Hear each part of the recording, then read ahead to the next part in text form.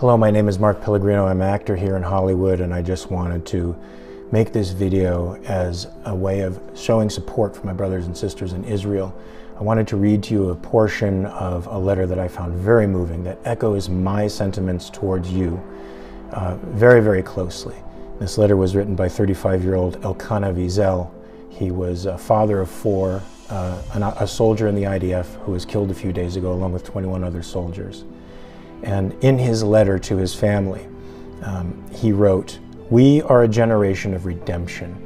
We are writing the most significant moments in the history of our nation and of the entire world, so I ask you to please be optimistic. Keep always choosing life, a life of love, hope, purity, and optimism. Right there, that is the soul of Israel to me and the reason I support you.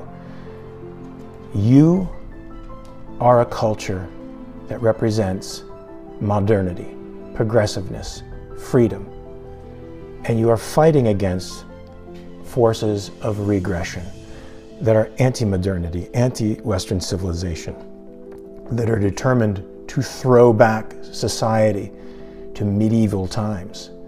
Theirs is a culture of death and violence, and that is what you are fighting.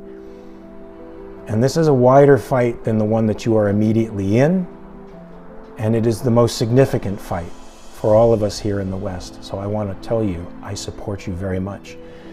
And the rational people of the world who support you, though our voices may not be as loud as the hordes of people that protest in the middle of the street, they are more powerful because they are rational.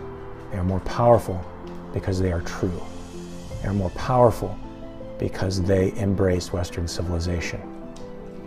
I wish you the best. I'm here with you in spirit, and I'm fighting for you in the realm of ideas here in the United States. God bless you.